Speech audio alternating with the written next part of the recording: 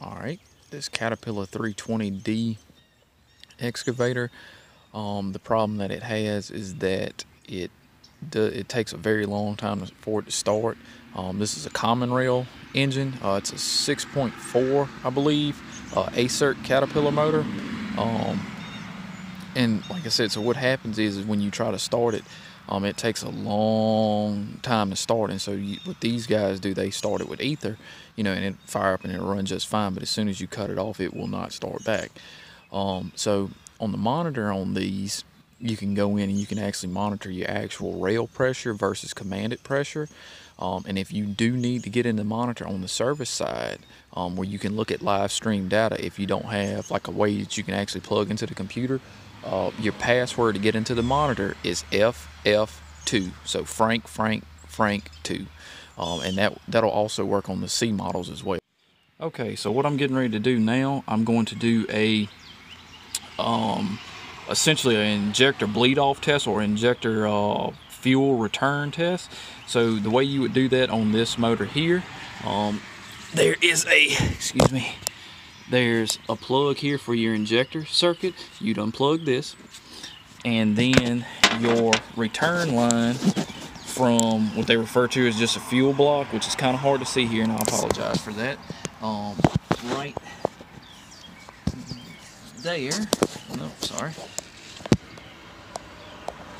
right here, um, you know, you would have this braided fuel line here and it's a banjo bolt here.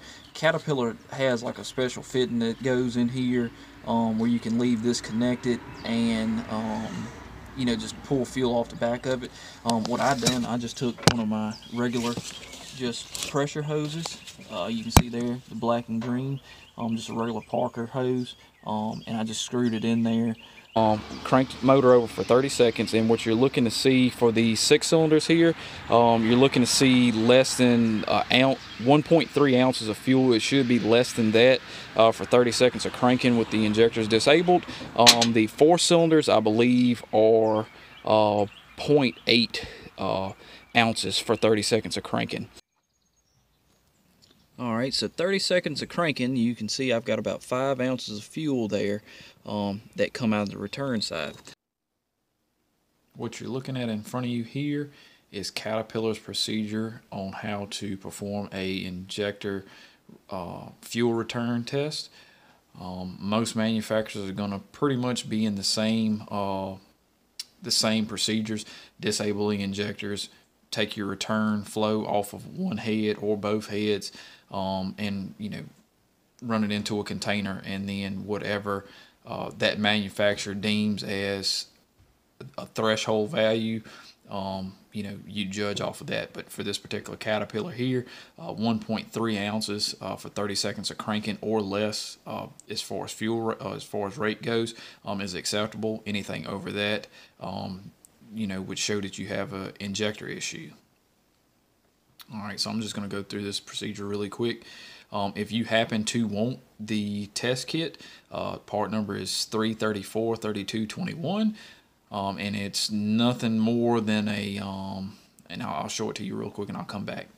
Um, it's nothing more than just a banjo bolt with a um, with a barb fitting on the end of it.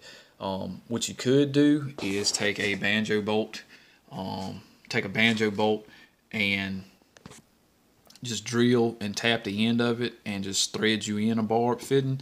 Um, the the banjo bolt on this Caterpillar here is a M14 by 125 if you're interested and need to know that.